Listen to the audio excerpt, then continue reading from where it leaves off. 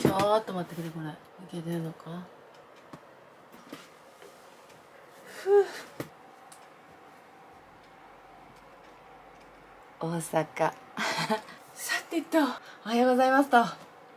現在朝の7時45分で朝の準備をしながら珍しく喋りたい。久々やな。えどない？どないな感じですか？私は。えバタバタしてんのかな？もうなんか日々自分が何してるのかわかんない。あでもそうそう。縦動画をついにみちるを始めたって前からやってるんだけど縦のショートの動画尺の短い歌の動画をコンスタントにこう上げてこうって。でついに始めましたね。TikTok もついに動かしだしたっていう感じですごい頻繁に私のちょっとした動画上がってくるからちょっとうるさいかなとか思いながらでもまあやるだけやってみようっていうちょっと続けてみようと思ってます。えうるさい？うるさいかもしれない、まあ、そのわけでね日々ななんか気持ちがバタバタしているという具合なのかしら。今日は朝珍しくメイクをしながら喋るっていう。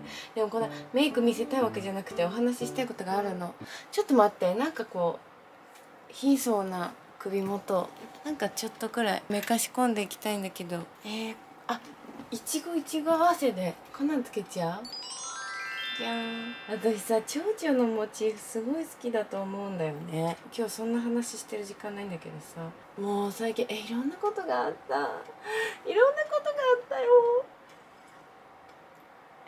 なんか一回すごい痩せたの？あの時。だけどその後なんか食べちゃってでその後どうしようかなと思って急にファスティングしてご飯を。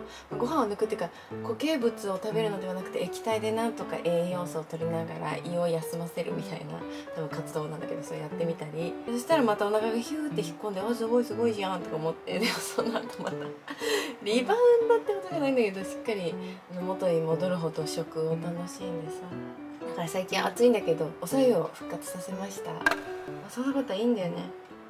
え本題に入るね。なんかさなんやかんやありながらさ6月のライブを終えてあの時まあ我ながらっていうかなんでなんで単語帳ここに飾ってあるんでしょうか。あのライブのね反響が良かったように思えてだからまたライブしようかなってすごい素直に思えてねその説は皆さんありがとうございました。でまたやろうって決めて待って喋りながらだと全然頭が回らない。けど今日話したいことって何？って次のライブについてご案内したいんです。この前の歌謡ショーを終えてすごい思ったことなんですけど私のライブに来てくださるお客様ってね気が付くとみんななんか一体感できてるっていうか なんかみんな本当お友達になっちゃったりとか、まあ、お友達まで行かなくてもそれぞれにちょっとお話ししてね「あお席ここ空いてますよ」とかそういうお話だと思うんだけどコミュニケーションを取りながらあと多分この前は私の作ったグッズの話とかさしながらライブ始まるの待ってくれてたりしてなんかみんな仲良くない？って思ってるんだけどどうなのかな？すごくねステージでも歌ってる間だってなんかいい雰囲気があるのと一体感がある？私さこういう性格だからさ多分みんなこうなんか手を差し伸べたくなるような 存在なんかえ？なんかこの辺のニキビがスーッと引きましたこの一晩で。すいません。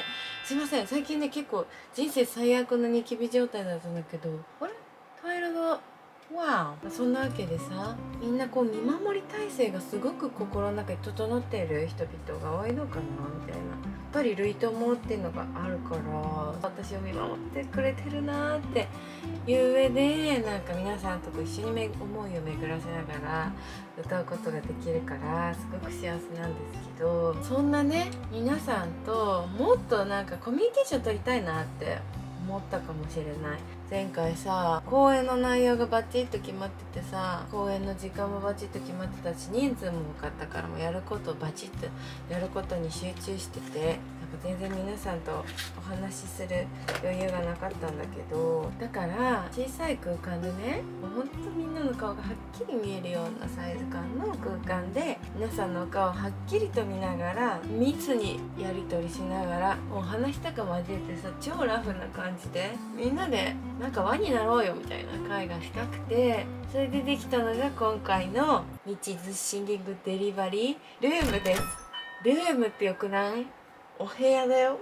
みんなで一つのお部屋に集まろうみたいなそんな気持ち。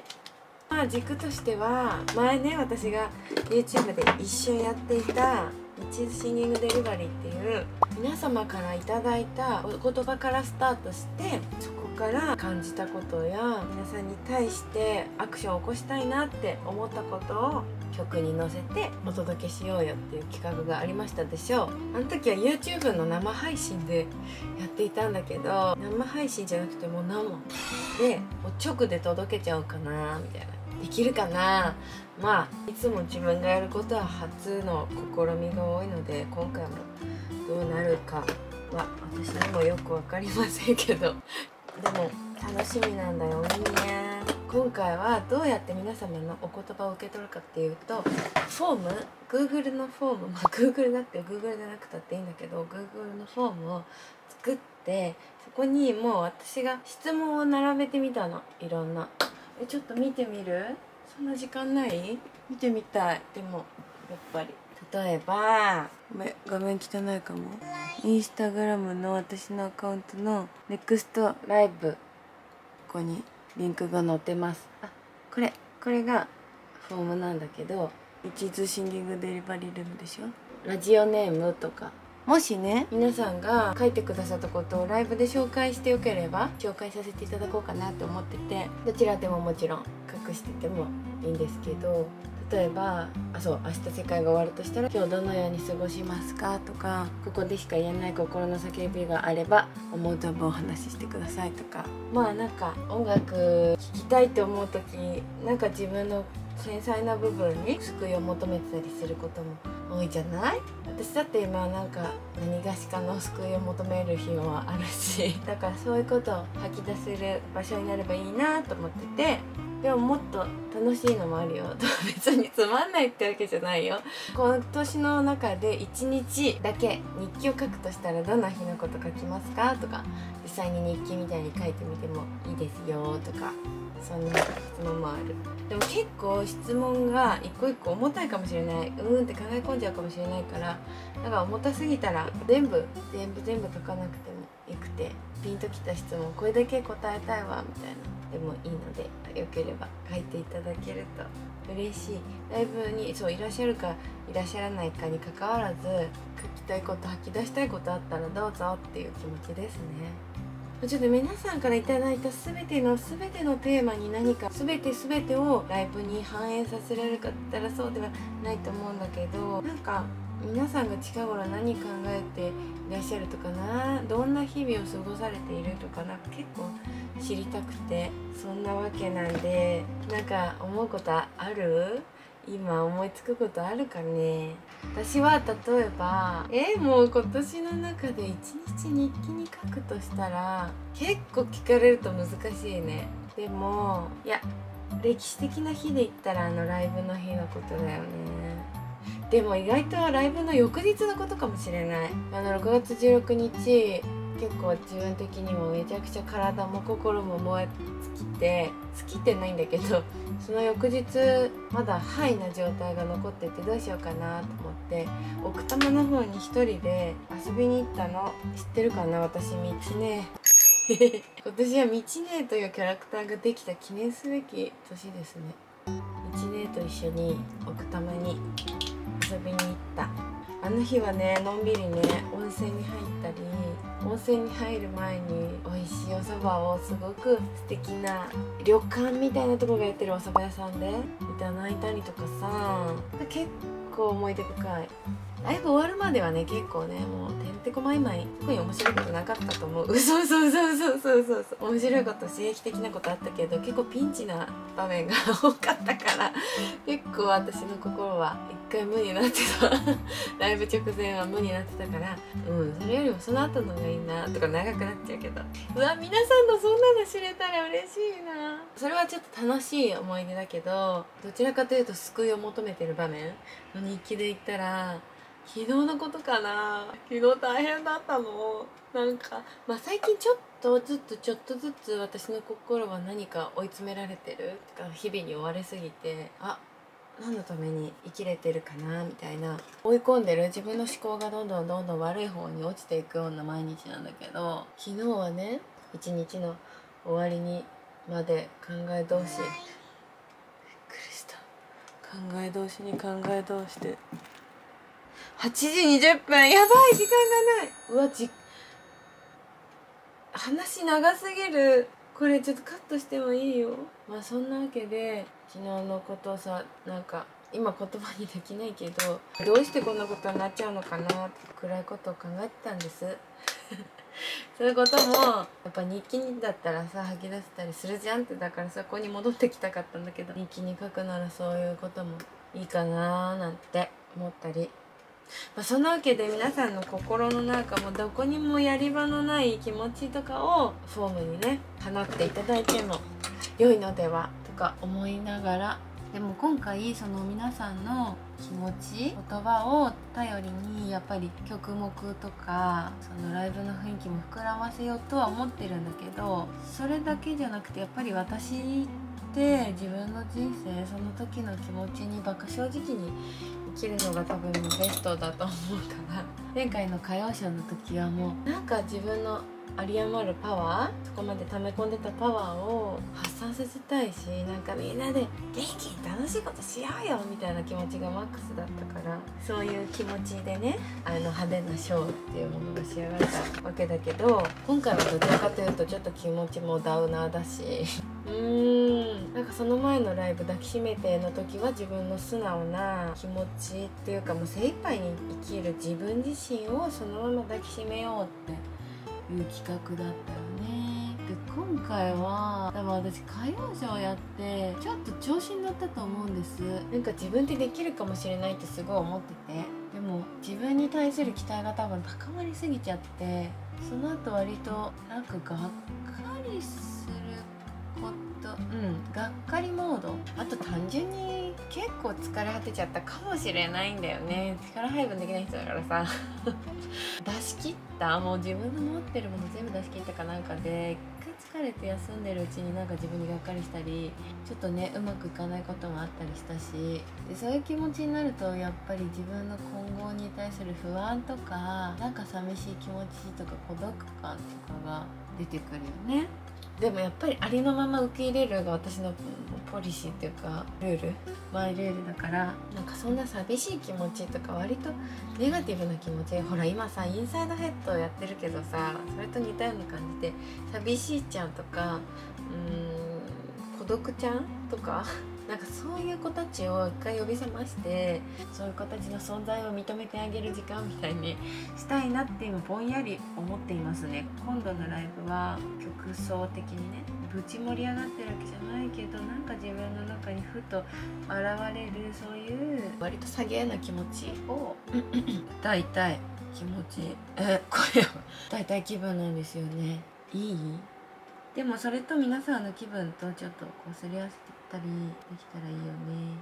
やっぱり皆さんを目の前にした時の私のパワーっていうのはすごいもんなんで。っ ていうか皆さんからもらうパワーっていうのがすごいからそれを目の前にした時の私の歌う力っていうのもグーンとアップするんだけど。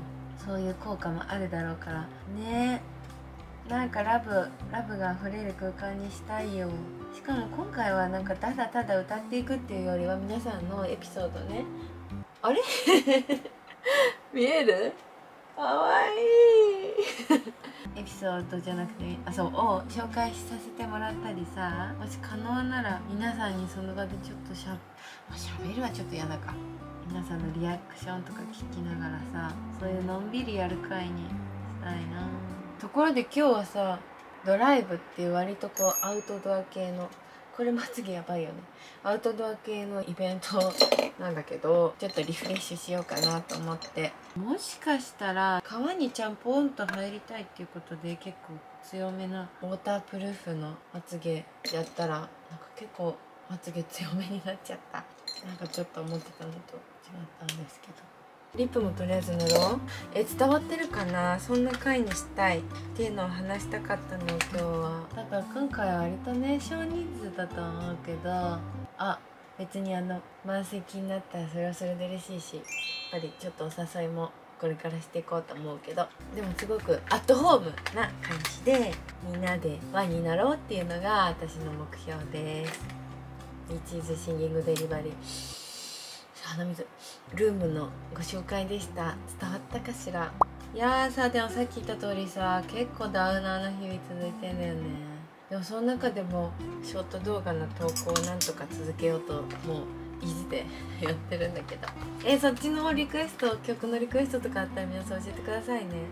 やっぱり私の目が届かない世の中には名曲がたくさんあると思うし私以上に皆さん私に合う曲 分かってくださってたりするから嬉しい。ってくれると。超シンプルだけどメイクできました。いいでしょう。今日はあんまり多くを求めずにとりあえずその空気を吸いに行くっていうそれくらいが目標でいいんじゃないかな。許してあげたい。自分のこと。許してあげたい。え最後に一ついいメイクさいろいろやってきたんだけどさ私こういうアクティブな日今日ちょっとポピーのチビティこのキッズティをさ着てみたりするわけだけどこういう日はねちょっとまぶたに黄色入れるのが好き。どう？あそうだこんなアクティブな日だからこそさキラキラやろうよキラキラ。キラキラはねちょっと大粒目のキラキラを下まぶたの真ん中にポチッとのせるのが好き電池切れちゃった。急に切れちゃった。もう話したいことは終わったから。またまた今度ね。じゃあね。え大丈夫？直接見ると難しいね。顔。あんま可愛く見えないね。まあいいや。ありがとう。楽しく出かけてきます。じゃあライブのこと情報載せておくからどうぞ。よろしくお願いします。最後まで見てくれてありがとう。またね。あバキュンしそう。それじゃあね。せーの。せーのじゃない